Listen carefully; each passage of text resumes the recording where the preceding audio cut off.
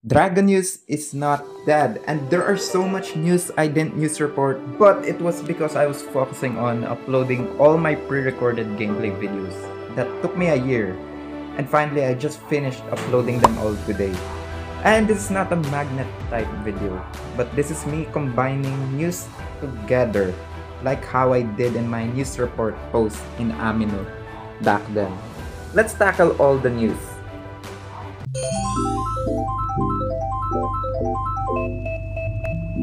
Nintendo Direct occurred on June 18, 2024, and it was a blast. The sequel to the Mario and Luigi series was revealed, and it was Mario and Luigi Brothership. The graphics is totally different here and more 3D compared to the prequels, and despite one of the companies who created the series, Alpha Dream, who shut down back on October 1, 2019 due to bankrupt. But now this is no remaster of the old Mario and Luigi games. This is finally the sequel we've been waiting for. Mario and Brothership. Mario and Luigi Brothership releases on November 7, 2024 my friends Shoshiri Chicken and Cass talked about it in our Nick Fancy X Discord server. Other stuffs that were revealed in Nintendo Direct was Zelda finally having her own game for the first time, which is The Legend of Zelda Echoes of Wisdom, releasing on September 26, 2024. Metroid Prime 4 Beyond gets a reveal of its gameplay, and the game is looking great, especially like Samus Aran. Well, of course, her pretty face was not shown. Marvel vs. versus Capcom Fighting Collection is totally confirmed. It's releasing on Nintendo Switch the Fighting Collection contains these games. Finally, for the first time ever, Donkey Kong Country Returns will release on the Nintendo Switch, and it is called Donkey Kong Country Returns HD, another remaster. It will release on January 16, 2025. A new free update for Nintendo Switch Sports is the addition of basketball. No release date revealed, but releasing later this year was only mentioned. The next Mario Party game is finally revealed, and it is Super Mario Party Jamboree. It is releasing on October 17, 2024, and other stuffs revealed in the Nintendo Direct.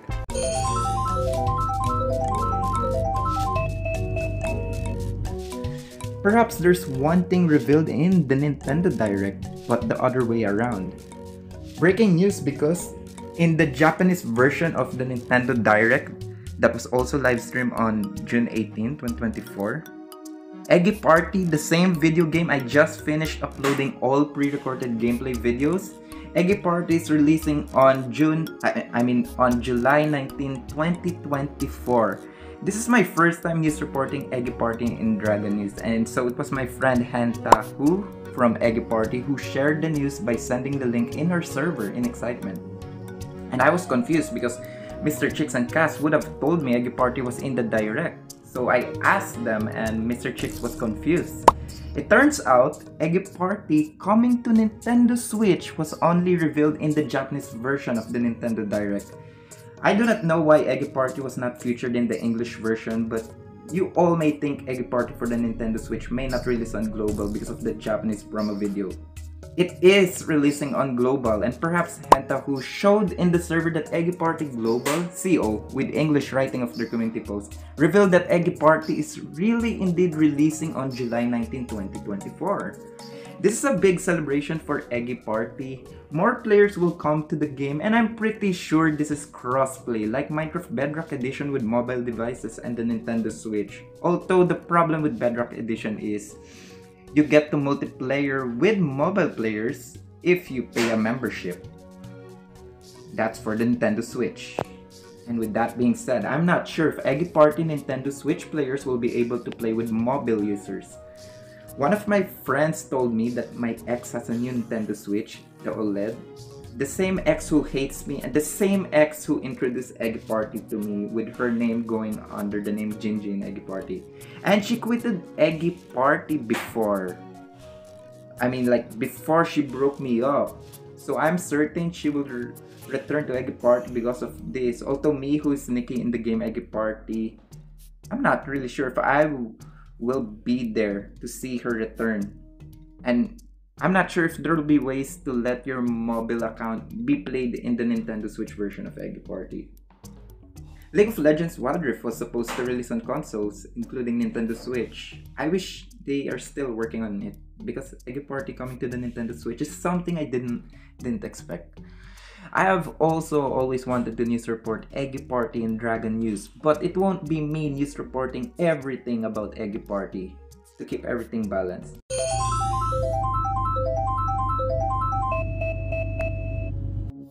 The second trailer for The Penguin was released on June 20, 2024, but what is interesting is recently a new character is revealed to be named Eve Karlo, though she does not exist in the DC comics. Wait a minute, Karlo! The real name of Clayface, his human version, is Basil Karlo, and Karlo is his surname, his last name. And remember the rumors that the Batman 2 movie is going to include Clayface, but these rumors were shut down by James Gunn. Now whoever is Eve Karlo, whether it's a wife or a relative of Basil Karlo, this just confirms that Clayface is somewhere in Matt Reeves' The Batman universe.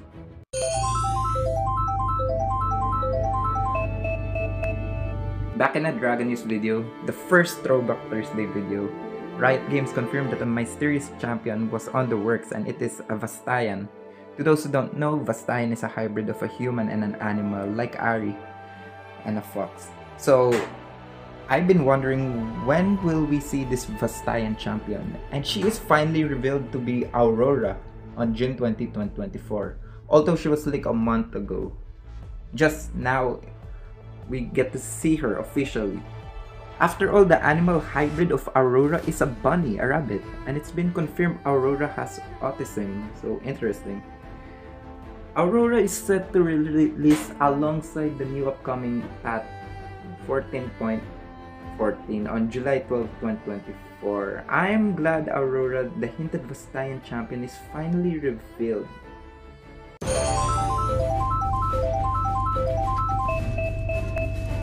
Ryan Gosling might be the Ghost Rider in the MCU. The reliable scoopers confirmed this. Ryan Gosling also appeared somewhere in my Roblox video.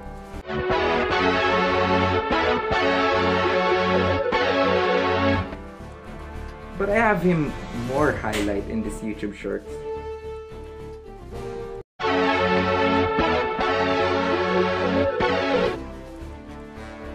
I don't know what I was doing back there.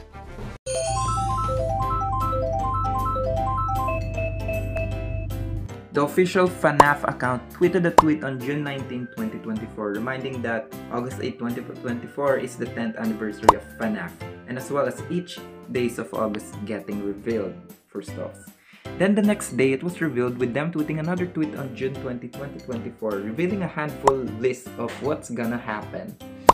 But what caught the attention of people the most is the August 6 part, especially it being mentioned a collab Fortnite is releasing the upcoming new 30.40 update on August 6, 2024, and it is rumored that a FNAF X Fortnite, Fortnite collab is finally happening after years of being rumored. If this is not about Fortnite, what a big coincidence indeed. And for whatever other collab could it be, since for years FNAF X Dead by Daylight is what fans have also been waiting for.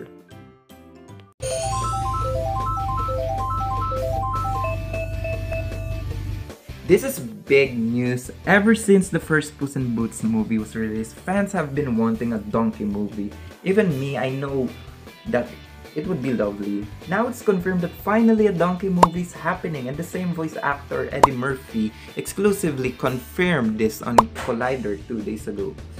The same day on June 25, 2024, I saw the tweet of discussing films being tweeted minutes ago, but of course I couldn't make a Dragon News video since I plan to combine all my missing news.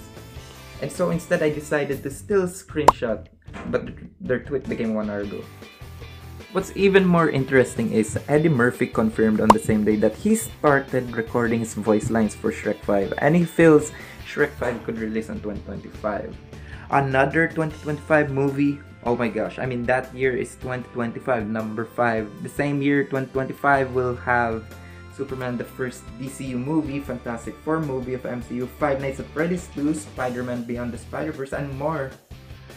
Remember, in the ending of the second movie of Puss in Boots, Puss in Boots, The Last Wish, him and the gang are on their trip to far, far away, with Puss in Boots telling them he wants to meet his old friends. And then the nostalgic Shrek theme plays. And that is how beautifully the movie ended. And the hype, especially with people who got hype seeing it on cinemas, the ending, and the hype for Shrek 5 after years had finally started.